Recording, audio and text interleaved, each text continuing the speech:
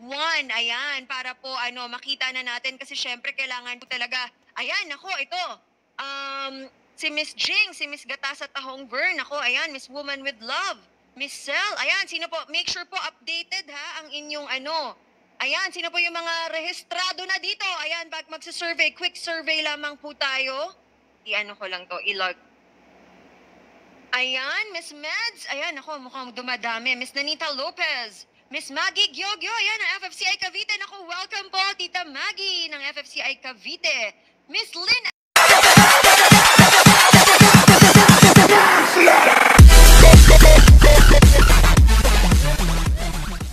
natin, no? Magkaroon tayo, medyo ano lang po tayo, um, survey. Sino po yung mga ano na dito? Yung mga registered voters na dito. Press 1. Ayan, para po ano, makita na natin kasi syempre kailangan po talaga.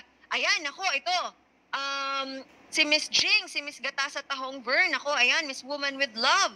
Miss Cel, ayan, sino po? Make sure po updated ha, ang inyong ano. Ayan, sino po yung mga rehistrado na dito? Ayan, bag magsa-survey, quick survey lamang po tayo. I-ano ko lang to, ilog. Ayan, Miss Meds. Ayan, ako, mukhang dumadami. Miss Nanita Lopez. Miss Maggie Gyogyo. Ayan, ng FFCI Cavite. Naku, welcome po, Tita Maggie ng FFCI Cavite. Miss Lynn Alvarado. Naku, na-miss ko si Miss Lynn. Mega, mega love shout out po. Ayan, ako. Ilan na po ba to? Bilangin natin. Ayan. Alam na this. Ayan, Miss Cel, Sir Pablo. Ayan, Sir Alfredo, Miss Geraldine Dosol. Ayan, uh, Miss Leah Galapi, Enjoy Gokong, FLM for Senator 2022. Ayan, nako, grabe, kailangan po talaga maging handa tayo. Kaya dapat yung mga hindi pa po nakapag-register, nako, kailangan po asikasuhin nyo na yung inyong, kasi po hanggang October 30, ang last day of registration dito po sa Pinas. Kaya po yung iba, nako, ano, ako medyo disappointed talaga dahil um, yung iba po 2 a.m. or 1 a.m. pa pumipila dyan sa mga registration centers ng COMELEC at naghihintay po talaga eh gawa ng talagang ano po yung weather ngayon. Ah, maulan po talaga yung weather ngayon. Kaya grabe no, grabe yung pahirap at ganon. Absentee voter ako ma'am, kaya pwede rin ako bumoto dyan sa Pinas. Sabi po ni Sir President Alfredo Allison FFCI Spain. Ayan. Ayan po yung mga ano, Last day na daw, nako. 14, okay. Um, sa mga taga Hong Kong pala, ayan, ating FFCI Hong Kong chapter. Last day na po pala ng inyong registration tomorrow. Ayan, ako grabe. Kaya po dapat, ano, wag po sayangin, no, ang inyong pagkakataon para po may mab, maibag, mabago, mabago, ano ba? Mabago natin yung ating, ano, yung ating um, kinabukasan at meron po tayong magawang pagbabago at uh, mailuklok po natin yung mga taong deserving po talaga sa pwesto. Ayan, kaya po make sure, ayan, yung mga- taga Hong Kong, Miss Honey, okay na po ba? Registered na po ba lahat ng ating members? Kasi po tomorrow po pala yung deadline ng ating FFCI, Hong, ah, ng ating ah, registration dyan sa Hong Kong. Ayan. Hello po, Miss Jocelyn Lucena, Mr. Vihil Rudy. Ayan, so far, ah, most, ah, pero ilan, ilan lang ba to? Ilan ba to mga nagwan? Ayan po yung mga ano, ito po, yung mga bagong pasok press 1 po kung sino ang mga rehistrado na, registered voters na po. Ayan, this coming 2022 elections. Ayan, hello Miss Glyceria Pablo, Miss Donita Nitz. Ayan, President, nandito pa si President Rod? President Rod Lionheart 21 Lopez. Ayan, nandito na rin. Sa Japan daw, kailan ang last day? Ayan, pakisagot po ang ah, question po ni Miss Karma na. Ayan. Hello, Miss Sherlyn Regalado. Ma'am, ngayon lang okay kuryente namin kaya absent po ako ng two days. Ayan, yung mga kababayan din po natin dyan sa Zamboanga, no? Um, kayo po, Miss Cherry, ah, naka, naka-register na po ba kayo? Ayan, i-check lang po natin kung sino po yung mga rehistrado na dito. Para po magkaroon lang tayo ng idea kung ah, mga ilan po Miss Betchay Contreras, ayan. Sir Alexander Valdez ng FFCI Nueva Ecija. Ah, okay, sa Japan din. Wait lang po. Sabi po ni Miss Teresa Enomoto, dito sa Japan, bukas ang last day ng voters registration. Ayan, sabi, Miss Karma na, ayan. Sabi din po ni, ni Miss T. Watanabe Magbanwa. Alright, so bukas po ang last day ng, res- ng registration sa Hong Kong at sa Japan. Samantalang dito naman po sa Pilipinas hanggang October 30 Ayan, kaya po natin palagpasin ang pagkakataon na bumoto para po ito sa ating ano, sa ating um, hinaharap at sa ating kinabukasan. Ayan, makikinig lang ako. Okay lang po. Thank you so much, Miss Lynn. Ayan, welcome na ko. Buti nakita, na-miss, kit- na-miss ko to si Miss Lynn. Wait lang. Ani?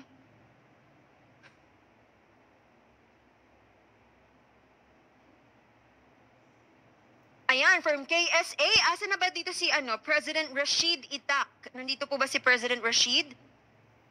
Wala daw CPR yung song, sabi po ni ano. Pwede po ba kaya? I-play, ay, i-ano muna. I-send ko muna, Miss FLM. Oo, dyan na lang. Para po sana ano, para po sana mai-ano natin, mai-flex. Ay, ipakita ko po muna kay ano. Miss FLM, message po ako sa Facebook ngayon. I-ano ko po ito.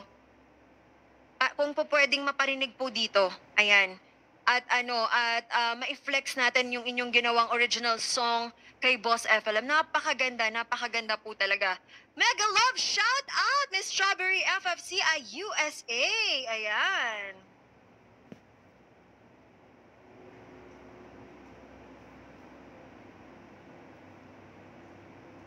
Ayan, wait lang po ah.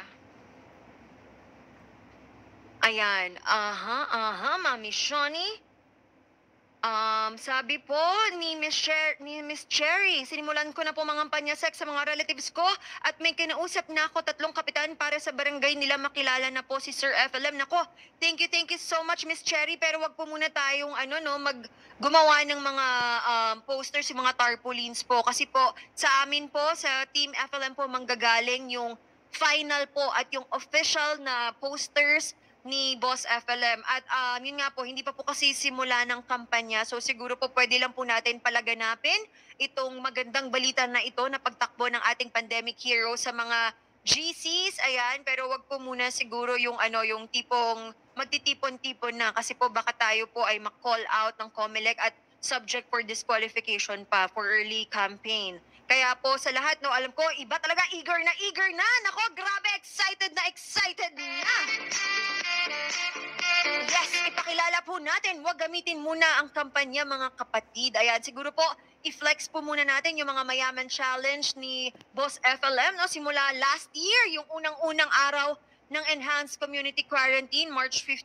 At um, kapag po, no, ganun lang, siguro pakita nyo lang na siya lang po yung tao talaga na um, nagsilbing ano, na yung tumulong po talaga during um, the height of the pandemic. Ayan. Ayun na, nako, nandito na President Rod Lionheart 21 Lopez. Sabi ko ni Ms. Ams Pascual, yung sa akin section ko kagabi sa online yung dati kong registration, active pa, 2009. Ayan, ako grabe. Naimbang garabi, Miss Bunso Jonna, 544.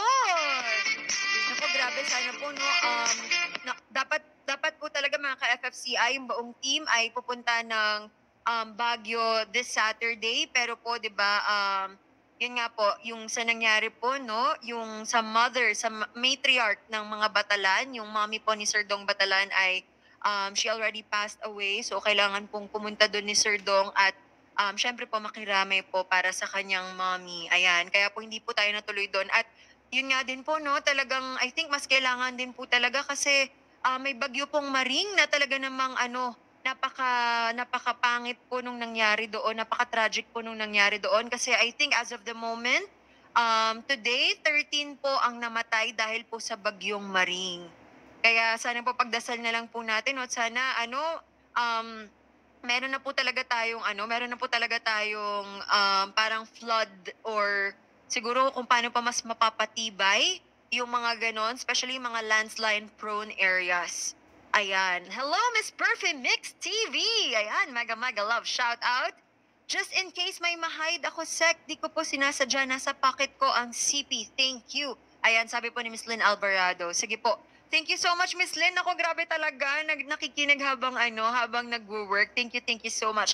Maya Pabengi, Malagong Sec AC Aplam for Senator. Mabuhay for Miss Apolonia Gonzales. Ayan, nasabi ko dito, Ayan, sabi ni Miss Strawberry FFCI USA, Sis Geraldine Dosol, Jean de Bosch, FFCI Belgium, mega love shoutout mga sisi ko. Ayan.